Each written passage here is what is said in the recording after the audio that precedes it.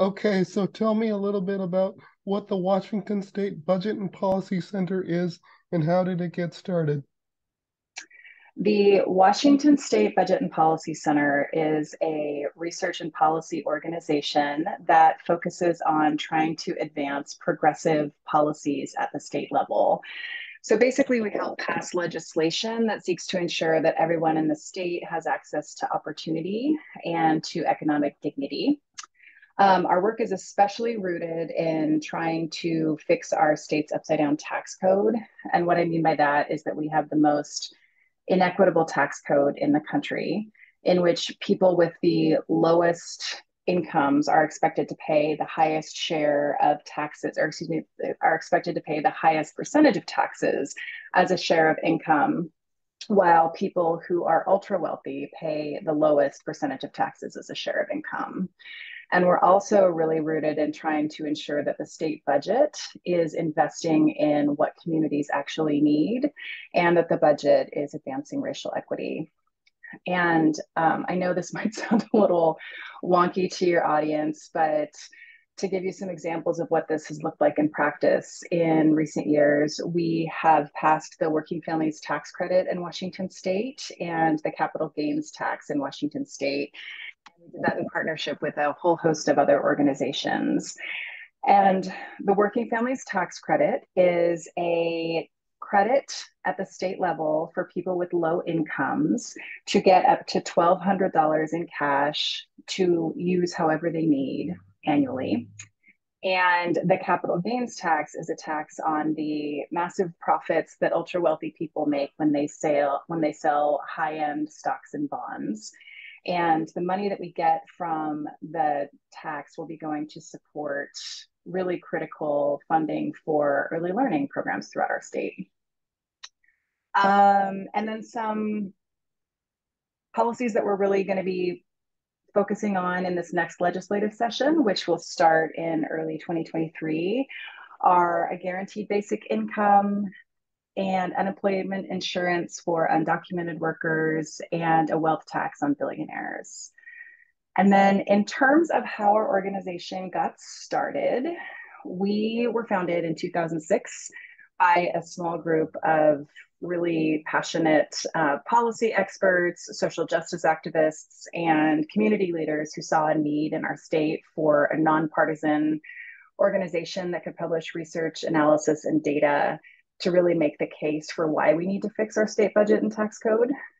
Their thinking was really that we need to be moving toward becoming a state that people not only not only don't experience poverty in Washington state, but that everybody has the opportunity to thrive and prosper.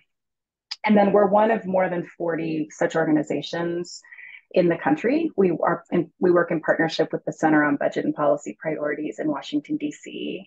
And uh, the other state organizations are doing very similar work around the nation to try to create a better state, for create better states for everyone.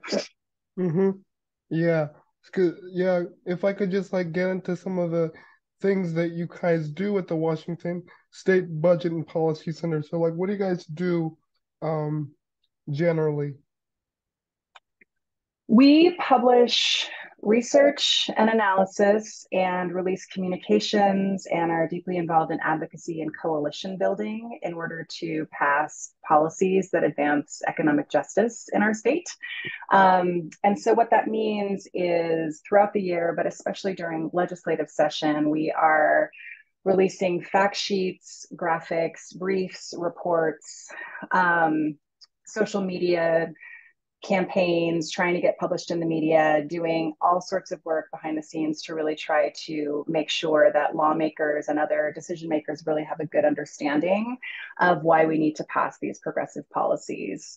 Um, and we also stay busy during legislative session working to testify in Olympia and send out action items for folks, send out legislative updates, and really try to make sure that people on the ground have all the information that they need to make the case for passing these progressive policies. Mm-hmm. Yeah, that's cool. So, how do you go about addressing some of the inequities that you know BIPOC people with this people with disabilities and other groups face whether that's, you know, things related to education, the environment, you know, like what kinds of strategies and tools do you use to tackle those issues? Internally, as an organization, we spend a lot of time digging into the ways that we can do better for one another and for our partners to really work to create a better and more equitable world for everyone. Um, so that means we're often digging into the meat of what it will, really take to dismantle white supremacy, what it will really take to dismantle ableist systems. Um, and we talk about how to do that within our organization and externally.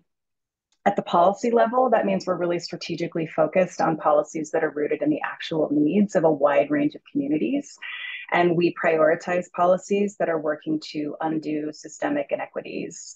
Um, a couple of the policies that I mentioned earlier, like the capital gains tax and the working families tax credit, are two examples of policies that will really meaningfully make a difference in the lives of Black, Indigenous, and people of color, people with disabilities, people with low incomes, and other communities who have long been harmed by our state budget and tax code. And with the Working Families Tax Credit in particular, we're especially proud of the fact that we were one of the first states in the country to pass that kind of state tax credit that very intentionally includes undocumented workers because the coalition behind it really recognized that undocumented workers are obviously contributing so much to our communities and they're being unfairly excluded from so many federal support programs. And as well as during that time, they were being excluded from so many stimulus programs. Um, it is important to note, though, that we still have a long way to go and a lot of learning to do. And as a white led organization, we really recognize that we have long been um, complicit in being part of a system that really works closely with the legislature that has founded so many policies over the years that are really rooted in racist and, and ableist systems. And but we're really working to undo the harm. Mm-hmm. Yeah. So like eh, are are you guys partnering with any uh, stakeholders in your efforts? Um, if so, who, who do you partner with? Well, we get to partner with so many cool people. We're really lucky that way. And our work wouldn't be possible without so many different partner organizations and stakeholders that are working hard on the ground to make our state a better, just, more equitable place. So we work with a range of organizations that are direct service providers, that are labor unions, that are advocacy organizations, um, organizations that support immigrant workers and everything in between to really try to make sure that we're partnering to pass the policies that I've I've been talking about. Um, some of our closest partners are organizations like Moms Rising, the Statewide Poverty Action Network, Children's Alliance, and One America, but there's way too many to list. Our, and our board members represent a wide range of organizations around the state, including um, higher education institutions, nonprofits, and small businesses. And then we also work closely with lawmakers and elected officials and community leaders and advocates um, and then, you know, it's also worth mentioning that as an organization that's part of the Center on Budget and Policy Priorities National Partnership, we do get to work with a number a number of national organizations on some federal policies that have a real strong impact at the state level. So right now we're involved in working with some national partners to try to ensure that the child tax credit expansion is reinstated. And the child tax credit was a program that was really powerful in lifting so many, or it is a program that is really powerful in lifting so many people out of poverty, in particular children. And the expansion during the pandemic had a huge positive impact, and we want to keep it in place. Mm-hmm. Yeah.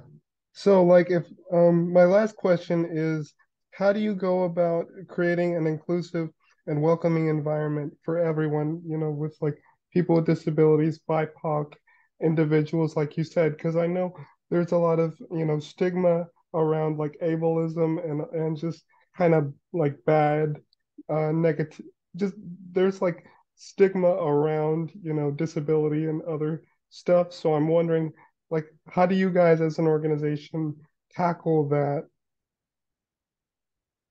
Sure. Um, well, I think that that starts at the individual level, and we get to work with a really amazing team of people at the Budget and Policy Center who have a lot of care and respect for one another and have a really deep recognition that we all have different lived experiences.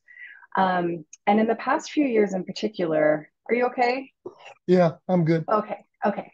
And in the past few years, in particular, as we've all really bonded while grappling with the new realities of living in a pandemic, and we've done a lot of powerful work on our own and with an anti racist organization called Holistic Resistance, we've moved in a direction of really trying to put relationships first and having an intersectional lens in everything that we do we recognize that we're all here at this organization because we have a shared motivation to create a better state. But you know it if we aren't creating a culture that's welcoming and inclusive and really allowing everybody to show up in ways that feel authentic to their true selves and to their lived experiences then we can't do our work. And our work isn't as important if we aren't really showing up in ways that feel um, loving essentially. And so we create a lot of spaces for connection and bonding and really try to make sure that folks feel comfortable having whatever experiences that they need to especially in the past couple of years as we know that mental health has been a real challenge for all of us we want to be able to ensure that people are taking care of themselves can sign off to meetings if they need to can turn off their cameras if they need to can take the time that they need to take off to really take care of themselves and whatever their needs are. Um, and you know then it also doesn't hurt that we all really like to make each other laugh and experience joy and center joy with one another. And so um, we can be pretty goofy together which i think sometimes can be surprising for people to hear that a bunch of policy nerds like to to goof off but we do and it really creates a, a much more inclusive environment for all of us. And I feel incredibly grateful to work with the people that I get to work with. Mm-hmm. Yeah, I think that's important. Absolutely.